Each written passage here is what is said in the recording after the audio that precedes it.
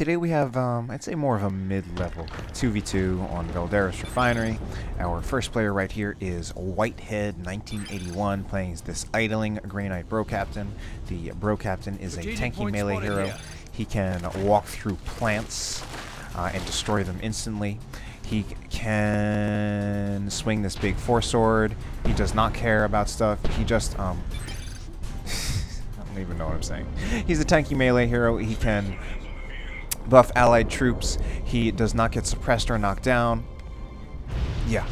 Sorry, I'm blanking out there. But his teammate is KanKrusha as the Inquisitor. The Inquisitor is an Imperial Guard hero. She disables and debuffs. She fights well enough in melee uh, and can even fight in ranged. Pretty good hero overall.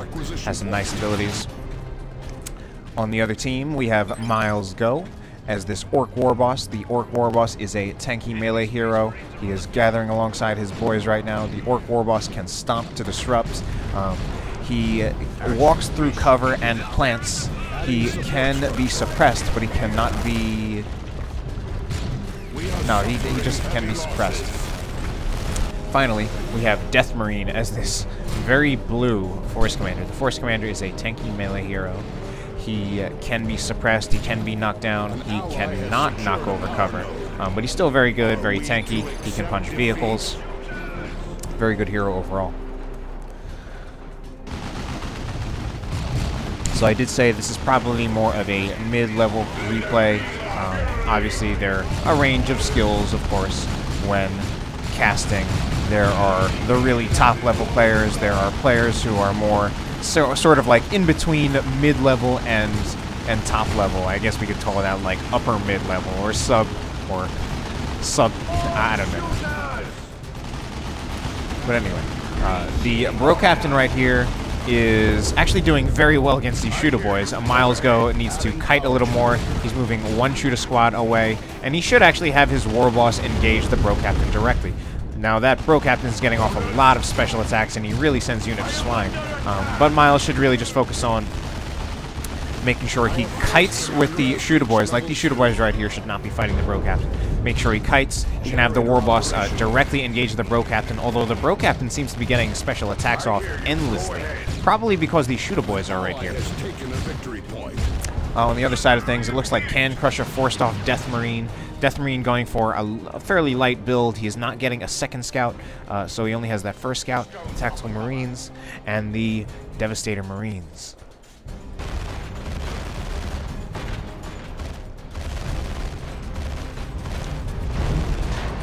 Alright. So we have some Purgation squads out for Whitehead. These are a Flamer unit uh, for the Grey Knights. Very good as dedicated Gen Bashers. They also function as basically the Tier 1 suppression unit uh, for the Grey Knights. They do need to stand still to fire. They do not have the range of a heavy bolter setup of a basically of a traditional suppression team, whether it's a heavy bolter, a shuriken cannon, or uh, an orc ludo. Fight on and drive the enemy back. So we're about to have some orcs engage. Uh, unfortunately, not such good positioning for Whitehead, and his bro captain is not there. And I think he's, yeah, he's not going to win that fight, not with both the War Boss and the Slugga Boys just charging in on the uh, Strike Squad and the Purgation. He really needs at least to have the Bro Captain there, if not just all, all of his army, since that was all of Miles Go's army. Uh, Miles Go He's capturing with the War Boss, which is fine. Should move these Shooter Boys a bit. I'd say help contribute to the middle. Uh, the Shooter Boys could probably take down... The combined might of the Shooter Boys and the Sluggers could probably take down that multi-laser turret. Not that he sees it currently, but he's about to walk into it. Um, probably just going for a cap. Shooter Boy still doing nothing. Um, but KanKrusha right here, KanKrusha is our Imperial Guard player, managed to get behind that Devastator Marine Squad. You should actually tie up the Devastator Marine Squad instead of just using uh, the Holy Brazier, and he loses the Sentinel. Oh god, that was, that was kind of painful to watch, to be honest. Um, I mean, because he got the flank with the Inquisitor. Um, and the Inquisitor, with that Holy Brazier, does power melee damage. If he goes now, he could still potentially wipe that Devastator squad. He needs to ignore the Force Commander, and he needs to go now so he can wipe the Devastator squad. Alright, that was... That was a little hard to watch, to be honest. Um, but anyway, um, the War Boss has the Boss Pole. So the Boss Pole uh, gives um, orcs nearby uh, gives them a health buff as well as a suppression resistance, 50% less suppression. Uh, and he takes out the Bro Captain with these Storm Boys. You really need to res respect those Storm Boys. They do 150 DPS power melee. That's more than a Howling Banshee squad. Um, they are terrible at chasing, though, but, I mean, if you leave your units in there against the, the Storm Boys, Storm Boys will, they will wipe squads and heroes. Uh, I'd say a good purchase from Miles Go. He's already um, giving Whitehead a lot of trouble just with his uh, with the Sluggas and the War Boss. So I think throwing in the Storm Boys right there uh, would uh, really help Miles Go to counter the main thing that Whitehead would be using to protect himself from the Sluggas, which would be the Purgation Squad, since it would be easily jumped by the Storm Boys. Salt Space Marines jumping in after Can Crush's Guardsman. Gar Can Crush ultimately with a, a, build that is just not enough, I think. Uh, he lost that one Sentinel. He only got one. He only had went with his starting Guardsman. Now that's a build that you can do. I've seen some very good players do it. They just get, they don't build a second guardsman squad. Uh, but one of the things you need to do to make that work, I think, is to get some kind of other unit.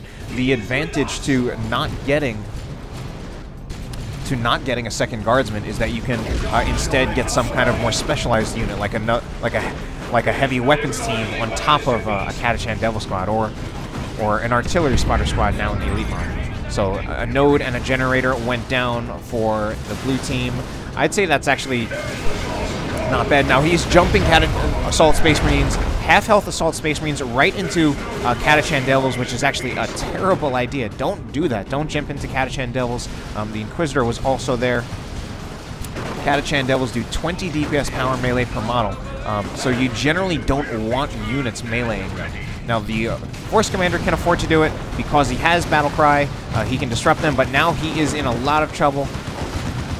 He still needs to be very, very careful, and he can still potentially risk getting wiped. Luckily, most of the Catachan Devils were getting disrupted by the Force Commander's battle cry. Now, the Catachan Devils at this point should just retreat. There's not much use to that smoke smoke grenade because I guess, actually, I'm wrong. And KanKrusha is right. He can use his Catachan Devils to cap right now. Um, so he just keeps a capping unit on the field while he can keep the guardsmen on the field to fight and to also bash these generators over here. So I'm wrong. Uh, Can Crush is right. What Can Crush is doing wrong, though, is not buying another unit. He's floating a bit. He can buy any Tier 2 unit at this point. Um, he's instead getting some kind of upgrade. He's getting a Commissar on his Guardsman. Not a it's a good upgrade, but he needs units. He needs units. Any unit. An ally has taken a victory point. I like the positioning on those purgation spots, but unfortunately they are getting jumped. They absolutely murdered uh, those Slugger Boys on approach, though. But now the purgation needs to really, I think, retreat out of there. Luckily, a special attack goes in on the... And the Storm Boy... The Purgation Squad get wiped anyway, so that is the power of the Storm Boys. But the Storm Boys also need to be very careful, or they will get wiped, and I think they just might. Range fire on the Storm Boys does, in fact, wipe them. So, Storm Boys, very much a glass cannon unit, huge damage output, but you're jumping them right into them, basically just right into fight, uh, where there could be everything there. They already cost a ton to reinforce, and you don't want to lose them, both when they can do such amazing things, uh, and when it's going to hurt you so much to lose them. KanKrusha now going for Ogryns. Technology That's a curious choice. I, I think it's... Um, Death Marine does not have any shotgun scouts, so right now, uh, Death Marine's only real... Well, he does have Devastators to counter... Um, he does have Devastators to counter Ogryns. He also has that the Force Commander, of course, now with the Thunderhammer. So the Ogryns will actually be well countered, uh, even right out of the, right out of the gate. Uh, scouts need to be very careful. Scouts basically should actually just not really be um, a frontline unit like that. He really had his scouts in front. They were behind cover, but they really just should not be that frontline unit taking most of the fire, even if they aren't in cover. They just don't have that much health, and they don't actually do much. Their focus should really be on capping uh, or supporting in some other way. The Inquisitor is in a little bit of trouble right now. This could be a wipe on the Inquisitor. No, do not use a spell when you're getting um, hit, and that's going to be a wipe on the Inquisitor. She goes down. Quite a few losses. Uh, Whitehead actually having quite a bit of trouble in this lane. Uh, not having quite enough to, I think, just stop the melee coming out of Miles Go. And Miles Go actually replaces his Stormboy squad. Hopefully he's a little more careful with this one. Uh, he also got Tank Busters, which is curious. He doesn't need them right now at all. But, I mean, he could just be using them as insurance. Um, Grey Knight players often like to go for that Grey Knight Dreadnought.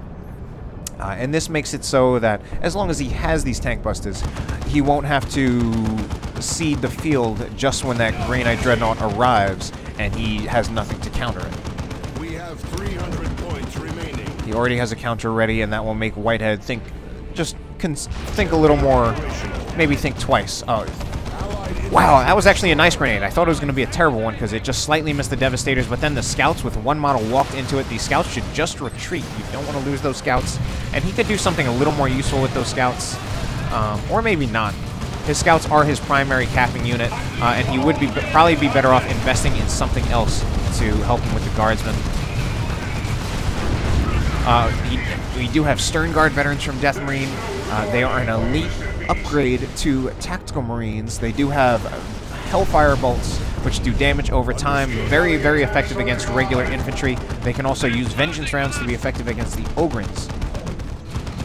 I know, he starts suppressing the Ogryns, but now these Stormtroopers are going to... Oh, they actually run out of energy, so they don't get around the heavy weapon team, but they do charge it, uh, and Death Marine could not suppress both of those units. Whitehead is really, really pushed back, and he unfortunately he just can't take. Understood. He's just having too much trouble. He decides to invest in some melee units, some melee units of his own, namely these purifiers. We'll see how that goes. I feel like they could be overwhelmed by the combination of the Sluggers, the Storm Boys, and the War Boss. The Bro Captain, meanwhile, has no melee upgrades himself. So he's still really not that great of a fighter, just with those... Oh, and the Purifiers going in, charging in a little too early, I think. Need to wait for some support. Let's get a Smite down from maybe from that Terminator Librarian. And those actually could... Okay, so that's actually not a bad idea from the uh, Purifiers, except for the fact that they're about to get wiped. Purifiers, will they just barely get out of there? They're getting chased down by the Sluggers. One hit, so the Purifiers do get out of there. Um, but the Purifiers, before they got royally screwed, they had actually used um, their ability, their area of effect damage ability, on that entire Orc Blob, and that was very good. That actually, wow, that actually was devastating against Miles. Um, he bled a ton from every single one of his units. So that was um, a somewhat sloppy play from Whitehead, although it did ultimately work. Now, KanKrusha is going with a purely infantry play, and he's exposing his infantry a lot, especially these Catachan Devils. They're getting hit by Hellfire rounds from the Sternguard veterans. Now they're against the Catachan Devils. Those Catachan Devils I thought were going to die. They lose half of their models, which is not a good sign, and they could lose more. So KanKrusha is off the field. With the build that KanKrusha has, he really could consider getting a Chimera, but he is going to Tier 3 instead. Whitehead is also going to Tier 3.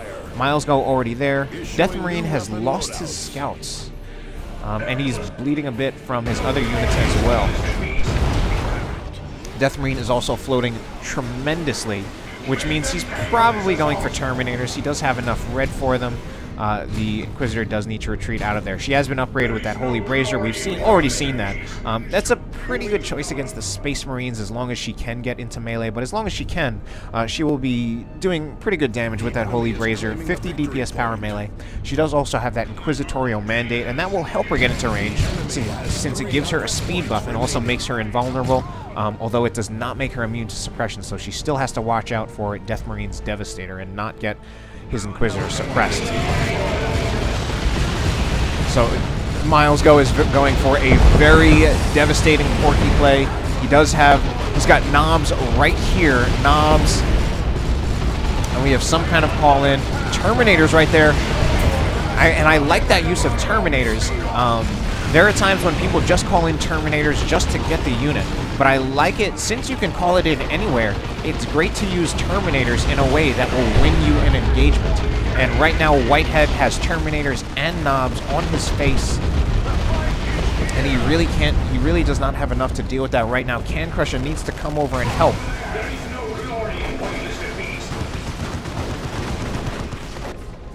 Although KanKrusha is holding the middle, so he is holding the VPs.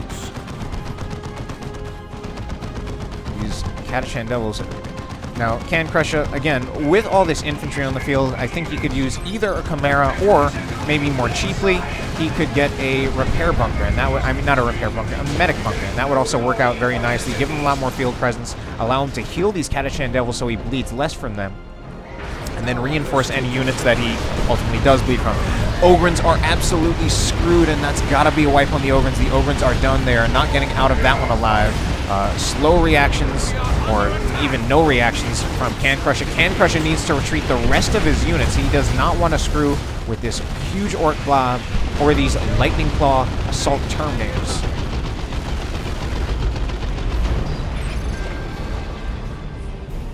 So Miles Go with that huge Orc army. He did lose one Stormboy squad, but other than that, his unit preservation has been very good, and he has six units. He's got a huge Orc mob. He's also sitting on enough red to do a rocks. KanKrusha now going for a Leman Russ, potentially risky. Um, at this point, I'd say he should probably go for the um, Executioner upgrade, actually. And we oh, these guardsmen in a lot of trouble there. Look at how much health they lose just from a few strikes from those lightning claws. Lightning, lightning claw terminators. Oh my god, just retreat the guardsmen. Get them out of there. Before they die. No, that's going to be a wipe for the guardsmen. Very close. Oh my god, this is going to be very close. I think he will just barely get them out of there alive. The, just the sergeant gets out of there. Inquisitor dies, though. So it's not looking good for the blue team. Double cap against them. In here. Unfortunately, I think Whitehead is still fighting just more things than he can possibly deal with. Does have the purifiers. They are pretty good, but but Miles Go has knobs. Unfortunately, it looks like Miles Go might lose these Slugger Boys, but I think he will just barely get them out of there with that Slugger Boy, with that knob. Whitehead goes for a cap.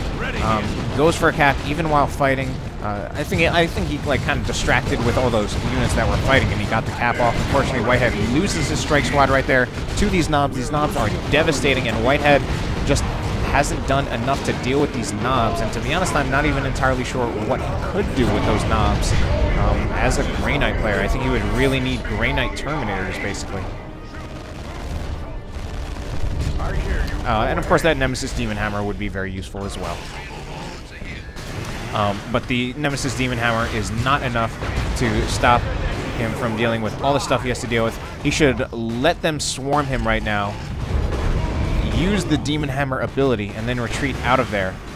Now it's time for that Bro Captain to retreat. Okay, so Whitehead did the right thing right there. Still has to be careful. Well, not be careful. There's nothing he can do at this point except that hope his knobs don't kill him on retreat, which I don't think they will.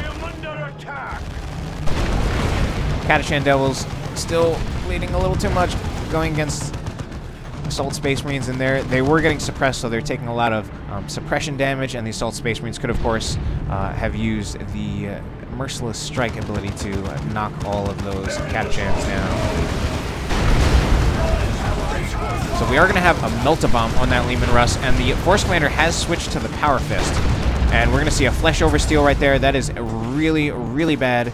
The Assault Space Marines should focus on the Guardsmen so that they cannot stay here. And, oh, but the Assault Space Marines, I think they retreated prematurely. They should have stayed in there, fought the Guardsmen, so that the Guardsmen could not fire at the Force Commander or repair the Leman Russ. As it is, the Leman Russ does, does go down.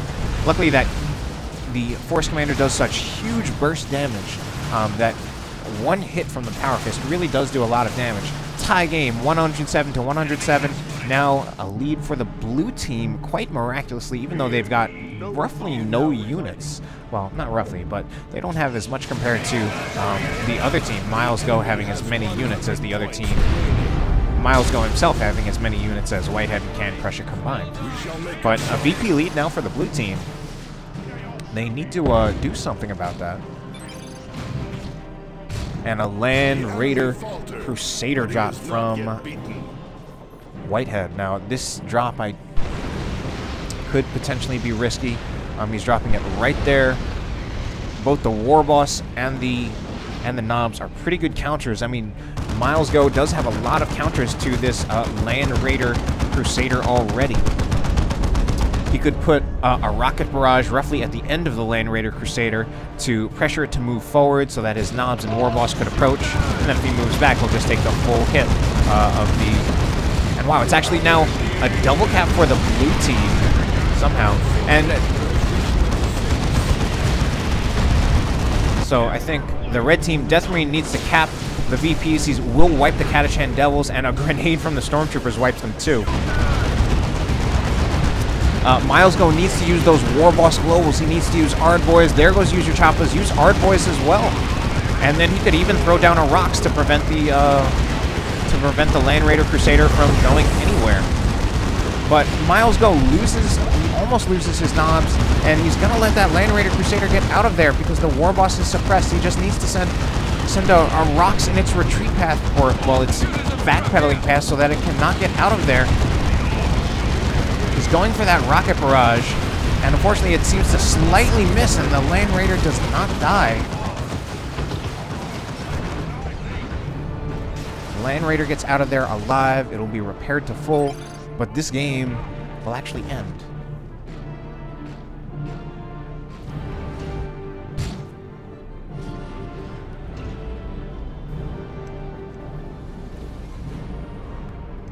All right, actually, it will not end. I was ready to call it. But uh, one-to-one cap. Terminator Librarian idling needs to maybe have a word with those tactical marines or those sternguard No sternguard veterans. Double cap for the red team. They are at four VPs. These assault terminators are still really just being absolutely devastating. Force Commander gets those guardsmen off the cap, and he will absolutely devastate that entire guardsman squad. Death Marine could actually probably send uh, these Terminators all the way into base. He, he and oh, now it's a single cap for the a no cap game, a no cap game. So it's 101 to 1 VP. Where to, where's the best place to even watch? Death Marine is in the base, but he also needs to. Oh no, he's going to lose his assault terminators, but he has enough red to call down more. Points remaining. KanKrusha losing all of his units. Whitehead down to... Actually, not down to. He's doing well.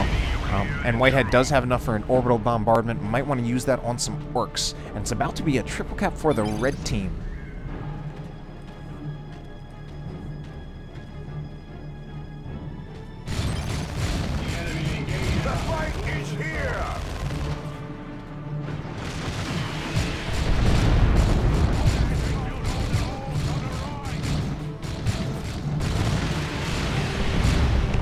Wow, look at how fast those purifiers are going. But there's nothing they can do about that huge orc blob. Uh, and it's now a triple cap for the red team. I thought this was going to be the blue team's game. And KanKrusha himself definitely cannot do enough. We have new Assault Terminators, uh, in addition to these ones that were actually saved. And the red team will take it. I think so. I have a habit of calling things early, but there's not a whole lot the blue team can do at this point. Orbital bombardment, just for fun. Won't get to see much of it though. That was crazy.